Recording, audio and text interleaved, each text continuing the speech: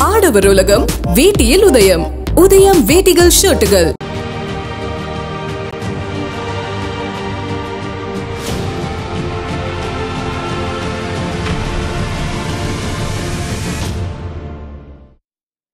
தமிழகத்தில் மக்களவைத் தேர்தல் நாளை நடைபெறவுள்ள நிலையில். வாக்குச்சாவடி மையங்கள் தயார் நிலையில் உள்ளன. விவரங்களை செய்தியாளர் விக்னேஷ் முத்துவிடம் கேட்கலாம். விக்னேஷ் முத்து தற்பொழுது நாளைக்கு தமிழ்நாட்டில் மக்களவைத் தேர்தல் ஒரே கட்டமாக நடக்க போகுது. இந்த நிலையில வாக்குச்சாவடி மையங்கள்ல என்னென்ன ஏற்பாடுகள்லாம் செஞ்சிருக்காங்க?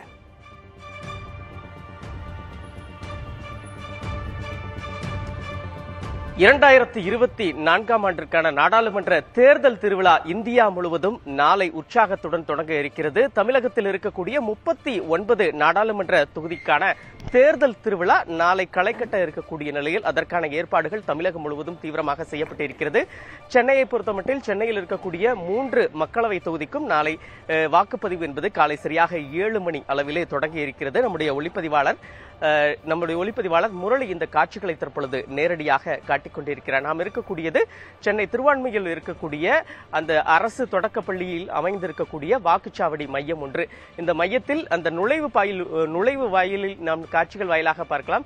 இங்கு அந்த பொதுமக்கள் வெப்ப அலை வீசுவதை தவிர்ப்பதற்காக பொதுமக்கள் எளிமையாக நின்று வாக்களிப்பதற்கு வசதியாக சாமியான பந்தல் போடப்பட்டு இருக்கிறது அதே நேரத்தில் இது ஒரு தேர்தல் திருவிழா. திருவிழா என்றால் ஒரு வாழை மரம் கட்ட வேண்டுமா? அந்த வகையில் தற்பொழுது இந்த நுழைவாயில் பகுதியில் இரண்டு வாழை மரங்கள் கட்டி நாளை வேட்பாளர்களை வரவேற்பதற்கு தயாராக இருக்கிறது. இந்த வாக்குச்சாவடி மையங்கள் ஒரு பக்கம் அந்த வாக்காளர்கள் நேரடியாக வரிசையாக சென்று வாய்ப்பளிப்ப வாக்களிப்பதற்கு வசதியாக அந்த தடுப்புகள் கட்டப்பட்டு இருக்கிறது அதே போன்று முதியவர்கள் முதியவர்கள் மாற்றுத்திறனாளிகள் நேரடியாக சென்று வாய்ப்பளி வாக்களிப்பதற்கு வசதியாக அனைத்து ஏற்பாடுகளும் அந்த சிசிடிவி கேமராக்கள் சாமியாக்க பந்தங்கள் வரிசைக்கான தடுப்புகள் உள்ளிட்ட பல்வேறு ஏற்பாடுகள் முழுமையாக செய்யப்பட்டிருக்கிறது. சென்னையில் இருக்கக்கூடிய தொள்ளாயிரத்தி நாற்பத்தி நான்கு வாக்குப்பதிவு மையங்களில் முப்ப மூவாயிரத்தி எழுநூத்தி பத்தொன்பது வாக்குச்சாவடி மையங்கள் ஒட்டுமொத்தமாக அமைக்கப்பட்டு இருக்கிறது காலை பத்து மணி அளவில் மண்டல அளவிலான அலுவலகங்களுக்கு இந்த வாக்குப்பதிவு எந்திரங்கள் முழுமையாக கொண்டு செல்லும் பணி என்பது தொடர்ச்சியாக நடைபெற்று வருகிறது. இன்று மாலைக்குள் சென்னை முழுவதும் இருக்கக்கூடிய வாக்குச்சாவடி மையங்களுக்கு எந்திரங்கள் முழுமையாக கொண்டு செல்லப்படுகிறது.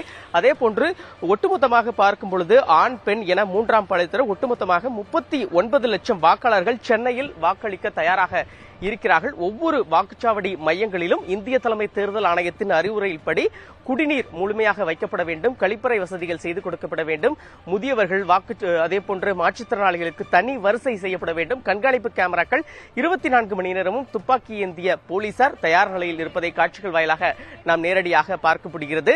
இந்த இந்த இந்தியாவின் மிகப்பெரிய இந்த ஜனநாயக திருவிழா நாளை காலை சரியாக ஏழு மணி அளவில் தொடங்கி இருக்கிறது. ஐந்து முப்பது மணி அளவில் இருந்து அந்த மாதிரி வாக்கு மாதிரி வாக்குப்பதிவு என்பது முழு- தொடங்கி இருக்கிறது. அதற்கான ஏற்பாடுகளும் தயார் நிலையில் செய்யப்பட்டு இருக்கிறது. அனைத்து விதமான ஏற்பாடுகளிலும் தற்பொழுது சென்னையை பொறுத்தமட்டில் அனைத்து விழிப்புணர்வு தொடர்ச்சியாக ஏற்படுத்தப்பட்டு நூறு சதவீத வாக்குப்பதிவு நாளை நடைபெறும் என்று தேர்தல் ஆணைய அதிகாரிகள் நம்புகிறார்கள். அனைத்து ஏற்பாடுகளும் தயார் நிலையில் இருக்கிறது ராதா. தமிழகத்தில் ஒரே கட்டமாக நாளை மக்களவைத் தேர்தலுக்கான வாக்குப்பதிவு நடைபெற இருக்கிறது. இதற்காக பல்வேறு ஏற்பாடுகளும் செய்யப்பட்டிருக்கின்றன.